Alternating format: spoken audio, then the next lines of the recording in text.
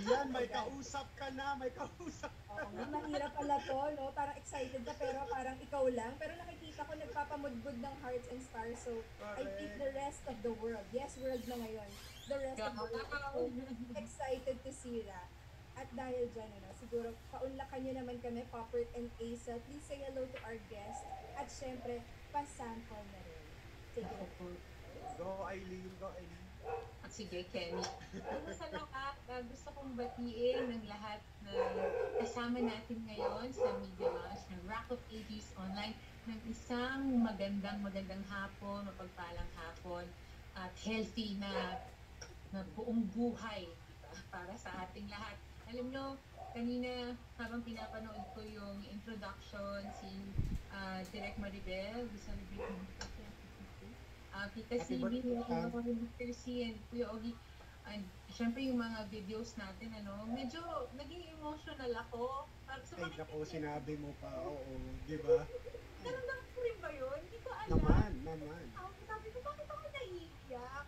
Kasi siguro po napakalaking, hindi siguro talaga napakalaking parte ng buhay ko, buhay namin, ang Rock of Ages. Talagang pamilya po namin ang PETA. Kaya naman na yung hindi namin pagkikita, yung yung ganito ang layo-layo natin, hindi tayo makapagtanghal, ano.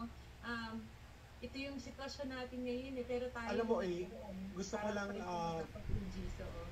gusto ko lang din ah, sabihin na kaya din ako emotional kasi um, nung ginagawa natin ng ah, live ang Rock of Ages no, na napapanood nila sa PETA, finally, ah, ipapalabas na on over the world.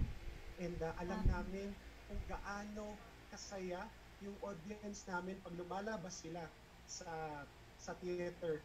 And ah, finally, sa panahon ngayon ng pandemya, ah, may i-share namin sa inyo uh, online kung gaano kasaya ang aming show. And I think doon nga doon ako naiiyak na it's time to hope again and sana itong Rock of Ages eh makapagbigay man lang ng ah, konting kasiyahan ng ngiti sa inyong mga Amen. ah, 'di ba? So ayun. Siyempre, bukod sa kasiyahan, um, yung uh, mensahe na tuloy-tuloy Yes. lang ang buhay at kumapit lang tayo dahil nandyan ang ating Panginoon. So, Amen. okay, kakanta ako. Okay lang. go, go! Ladies and gentlemen, Isel Santos Lambrado! Gusto niyo mag-host Okay. ako? Okay, ito na. Hmm. Heto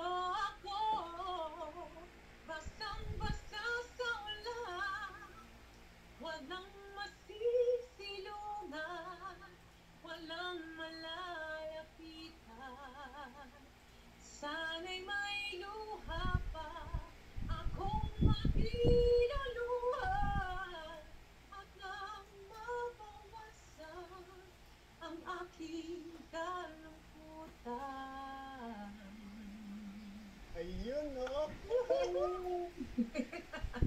Ay, ikaw naman, Popet! Ah, okay, ito muna. Chill, chill muna. Um, akala ko ikaw ang aking totoo sa aking panin. Ngunit nang ikay akapin, naglalaho sa dilim. Ikaw ay aking minahal. Kasama ko ay may kapal. Ako pala'y nag-iisang hangal. Naghahangad ng isang katulad mo. Yay! Hanggang doon lang muna. Wala akong tutukin mo eh. Nabitin ka. Kailangan biden para bumili sila ng tickets ng Rock of Ages. Segway sa Segway. So, ayun na nga. Let's welcome back, Leloy. Oo. Miss Leloy. Parang, parang kaya-kaya na po ni Asa at ni Papa itong Ay! show na to. Makapagpa-charge na rin po kami. Hindi, again, thank you for those. Nako, ayun, ang dami nag-send ng stars. Thank you, Aisel and Popper. Alam niyo, nakaka-emotional nga naman talaga. No? Kahit nag-isa tayo dito sa mga bahay natin. Pero feel natin na magkakasama tayong lahat. Kahit yung ating mga media friends, nakakatuwa, kahit mga nakamute sila. Um, I mean, ramdam natin kahit papano there's, you know, parang there's a community. At perfect talaga ang rap when when you talk about, you know, tragedy and, and disaster. Mismo. Amen. Panahon ng pandemya, but it gives hope for all. So, Yeah. sana itong Rock of Ages ay maging North Star ng PETA at ng lahat ng Pilipino all over the world. And, you know, hopefully, kahit pa nga hindi Pilipino eh can, uh, we will have subtitles. So kahit pa hindi Pinoy, pwede mapanood ito at I'm sure mag enjoy sila.